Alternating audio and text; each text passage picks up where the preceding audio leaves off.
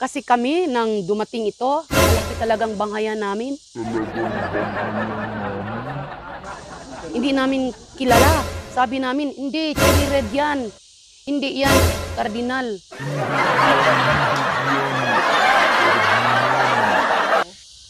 Magandang araw mga palangga.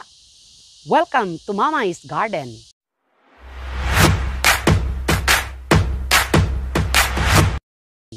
Ako po si Mamay Flor, isang plant enthusiast. Sa channel na ito, ating pag-usapan paano mag-propagate at mag-aalaga ng mga tanim at iba pang usapin na may kinalaman sa halaman. Ngunit, bago sa lahat, pindutin muna ang notification bell at mag-subscribe sa Mamay's Garden upang maging updated kayo sa lahat ng usapin sa channel na ito.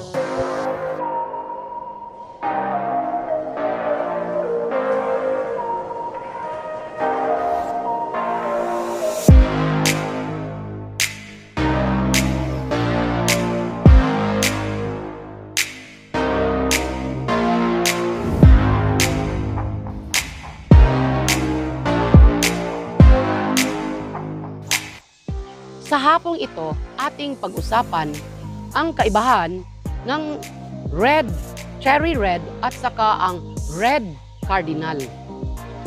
Ang ating mga philodendron mga palangga ay maraming nalilito. Karamihan kasi sa kanila ay pare-pareho lang ang mga kulay. Kaya mahirap i-identify dahil sa 480 philodendrons, ang bawat isa sa kanila ay may magkahawig na mga kulay at ganon din ang shapes ng kanilang mga dahon. Kaya, itong, ito ding dalawang tanim na ito, tayo rin ay nalilito kung ating titingnan, di ba mga palangga? Ako naman, nang dumating ito sa akin, ako din ay nahirapan, ganon din ang aming mga kaibigan. Ah, hindi sila maniniwala na ito ay red cardinal. Sinasabi nila na ito ay cherry red. Kaya naisipan kong mananaliksik at tingnan talaga kung saan ba nagkaiba ang dalawang ito at yan ang aking isi-share sa inyo mga palangga. Uunahin natin ang kanilang mga kulay. Tingnan ba natin closely ang dalawang tanim? Di ba magkahawid ang kanilang mga kulay? Ang cherry red, itong cherry red na ito, at saka itong red cardinal. Kung ating titingnan, ang kanilang mga kulay ay halos pare-pareho. Ngunit mga palangga, ito palang ito palang ah, red cardinal kapag bagong usbong ang kanyang dahon ay namula-mula ang kanyang mga dahon. Later, magiging ganito na ang kanyang kulay. Pagkatapos, mag-blend na siya na parang almost brown na meron din siyang lavender. Magkakaroon siya ng lavender. Pag ito ay almost na na siya na matuyo o tumanda na ang kanyang dahon ay magiging green na siya mga palangka. Pansinin din natin ang kanyang mga lines, itong ating mga red cardinal. Hindi siya gaano klaro, di ba? Ayan siya. Ayan. Glossy siya na hindi klaro masyado ang kanyang mga lines. Ganon din dito sa likuran. Ayan. Hindi gaano. Ngayon, tingnan ba natin ang ating cherry red? Itong cherry red, kapag bagong uh, usbong ang dahon niya, ganito ang kanyang kulay mga palangga. Tapos, ang doon sa likod, makikita natin, ayan siya, ang kanyang mga kulay, ang kanyang mga lines ay highlighted. Yan, klarong-klaro ang kanyang mga lines na highlighted na para siyang maroon. Ayan siya. Dito naman sa harap, makikita din natin na ang mga lines niya ay klaro din. So, yan pa lang sa kanilang uh, mga lines ay nagkakaiba na ang dalawang tanim mga palangga. Itong cherry red, ang kanyang mga lines, although ang kulay nila ay pare-pareho almost, ngunit doon sila nagkaiba sa kanilang mga lines. Na ang lines ng cherry red ay napakaklaro at Doon din sa likod, klaro rin. Ayan siya. Yan ang mga lines nila. Doon naman sa kanilang kulay, itong ating red cardinal ay light lang ang kulay niya. Ito naman, ang ating cherry red ay metallic. Tingnan ba natin? Ayan sila. Metallic.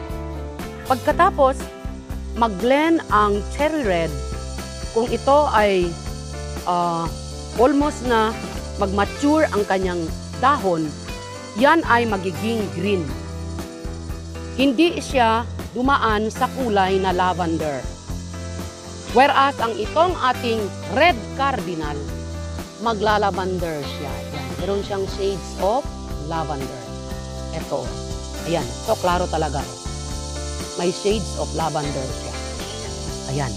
So, sa kulay, nagkakaiba ang dalawa dahil nga ito magte-turn to lavender at ito naman magte-turn to metallic. Then later, pareho silang magiging green. Doon naman sa kanilang stock, kung titingnan natin ang mga stock nila ng bawat isa, ay pare-pareho lang kung ating itansya. Ang kulay din nila ay almost the same. Kaya marami talagang nagkakamali dahil ang kanilang mga stock ay pare-pareho. Yan, sa stock na ito, walang magkaiba mga palangga. Pareho ang dalawang tanim. Ngayon, dito naman tayo sa kanilang mga roots. To, ang ating cherry red, madali siya, although pareho silang, um, pareho silang self-headed itong dalawa. Ngunit, madali maglabasan ang mga air roots ng itong cherry red. Whereas ang ating cardinal, ang red cardinal, including the black cardinal, matagal mga palangga. Lumalabas ang kanilang mga aerial roots. Hindi ito agad-agad lumabas. Ngunit, tingnan ba natin closely ang itong ating cherry red? Ayan, napakarami na niyang mga air roots. Lalabas agad ang kaniyang mga air roots. So meaning, doon sa propagation, mas madali i-propagate ang ating cherry red kaysa ating cardinal. Ganun, na di, ganun, ganun din ang ating black cardinal.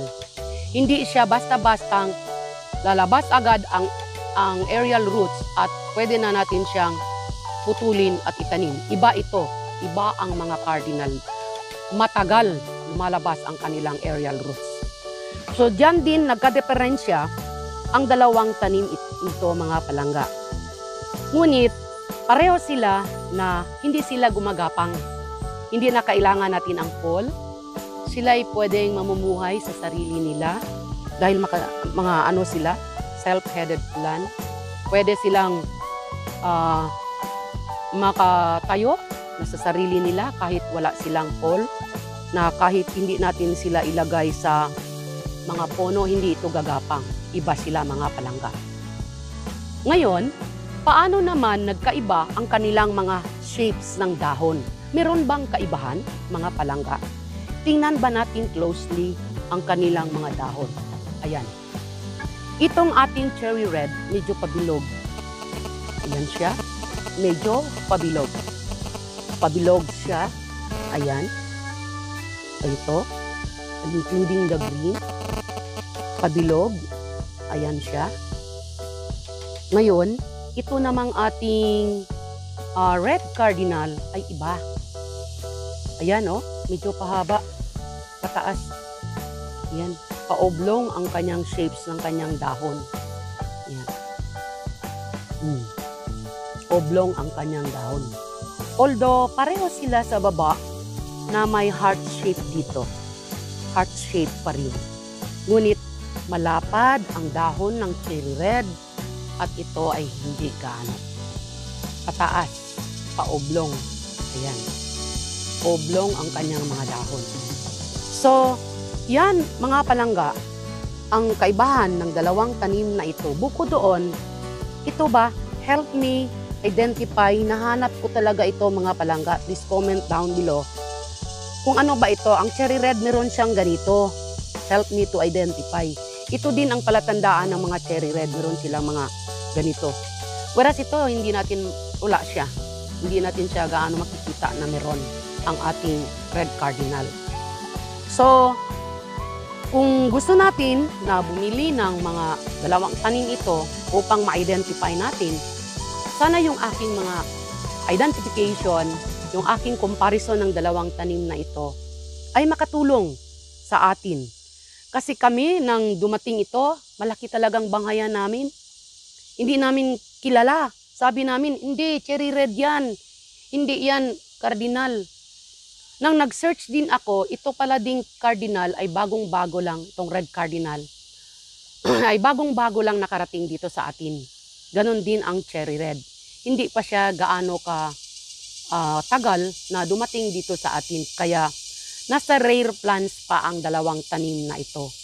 Kaya hindi pa tayo gaano kakilala nito. Ako man, matagal na akong plantita, ang kilala ko si Black Cardinal. Kilalang kilala ko si Black Cardinal kahit saan mo pa siya ilagay. Kahit kasama pa siya sa Royal Queen at iba pang mga philodendron. Meron akong palatandaan sa Black Cardinal. Pero itong dalawa, talagang binigyan ko siya ng oras para i-study talaga dahil nahi, ako din ay nahihirapan mga palangga nung una. Paano ba at ano ba ang kaibahan ng dalawa? Ako ba'y nagkamali sa aking pagbili? Ganin din sa aking isip. Nang ako din ay nag-research, doon ko na-conclude na totoo pala siyang red cardinal. Ito pala talaga ay red cardinal. So, mga palangga, sana po sa ating usaping ngayon ay nakatulong din sa inyo ito na balang araw kayo rin ay bibili at magkaroon ng ganito. Ang hindi na kayo malilito. Makilala na ninyo kung sino si Cherry Red at kung sino naman si Red Cardinal. Ang dalawang tanim na ito, mga palangga, ay lahat ay manggaganda. Silang lahat ay super ganda ang bawat isa. At super kamahalan din mga palangga. So, mga palangga, sa inyo pong lahat, sana po'y kayo'y may natutunan sa araw na ito. Marami pong salamat at bye-bye!